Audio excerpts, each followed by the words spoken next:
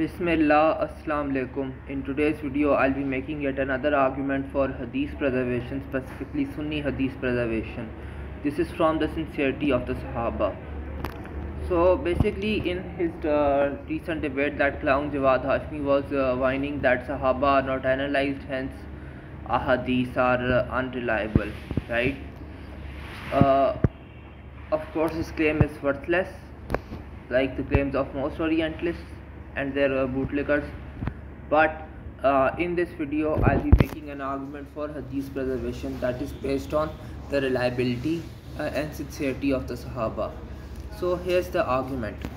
The Sahaba are the transmitters of Sunni Ahadith, first transmitters, right? If they are honest, the Hadiths are reliable. If they are dishonest, the Hadiths are unreliable.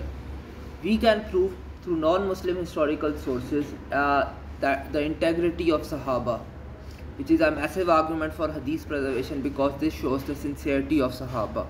If they are honest, they are unlikely to lie and make things up, and hence they are much more likely to report the truth.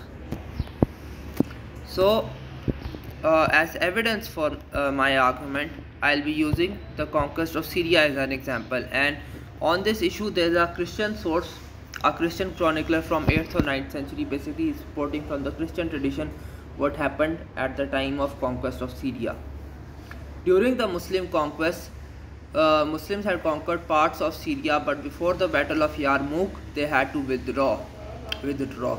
Now, of course, the Muslims had taken tribute money, right, from the Christians as tax, or basically because they were conquerors, they won the right to it. But before leaving, the Muslims decided to refund the money they took as tribute from, from the Christians. This is a mind blowing display of sincerity and integrity of Muslims with no parallel in history. Think about this the Muslims are in a war. At that time, they need the money the most. But, and even if they didn't uh, need, need the money the most, no one in history would have returned it. But because Muslims are honest, uh, the Sahaba and their followers were honest men of principle and they were committed to Islam. They refund, refunded the money because they couldn't protect the Christians. This is a fact of history. And basically, and just to give you a little context of this issue, the non-Muslims paid a poll tax to the Islamic State so that their lives, religion and property were protected under the rule of the Muslims. This is how it's supposed to happen in Islamic law. However, in this case, the Muslims knew that they might be unable to protect the Christians of Syria due to an imminent attack by Heraclius. Therefore, it was not fair to keep the money if they could not protect the masses. This proves the sincerity and integrity of Sahaba beyond reasonable doubt. I don't think there's any way around this point.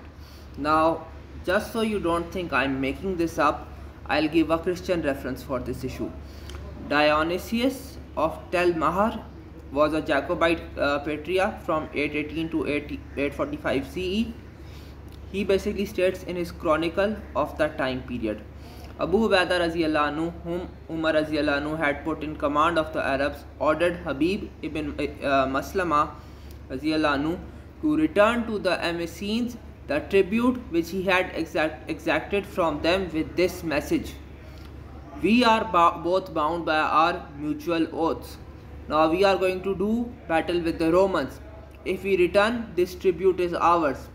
If we are but if we are defeated and do not return, we are absolved of our oaths. Uh, the Christians at the time actually preferred the Muslim rule over the oppressive Byzantines and basically Dionysius also confirms this. So the Arabs, uh, this is a further uh, work from the same text. So the Arabs left Damascus and pitched camp by the uh, river Yarmouk. As the Romans marched towards the Arab camp, every city and village on their way which had surrendered to the Arabs shouted threats at them. As for the crimes the Romans committed on their passage, the, uh, they are unspeakable and their unciviliness ought not even to be brought to mind. So, this is what Romans did to their own people. The Arabs, the Muslims, the Sahaba, and their followers returned elated with the great victory. They won the Battle of Yarmouk.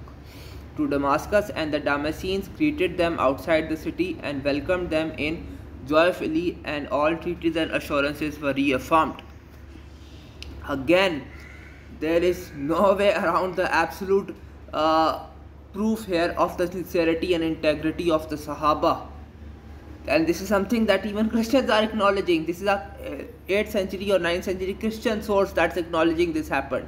If this was just in Muslim source, you could say that it didn't happen, but this is in a Christian source who's quoting from his own Christian sources.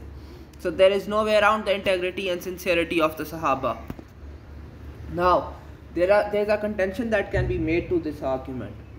Some clowns can try to claim that hadiths don't go back to the Sahaba and the isnads to the Sahaba are made up. There's a very simple response to this. This contention fails because most of the hadiths uh, that uh, are narrated by the younger Sahaba, like Hazrat Abu Huraira anhu and Hazrat Anas bin Malik anhu and etc.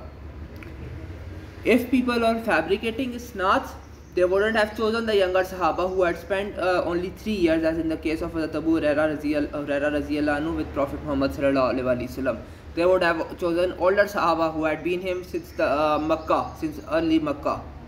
So these isnads simply wouldn't have been fabricated, which uh, indicates they weren't fabricated and hence is an argument for hadith preservation in and of itself. So this contention also fails. In conclusion, I hope you have seen that the integrity and sincerity of Sahaba is actually a massive proof for Hadith preservation and that the clowns whining against the Sahaba really don't have a leg to stand on. Inshallah, I hope you have enjoyed this video. Inshallah, I'll keep refuting these clowns till next time. Assalamu alaikum.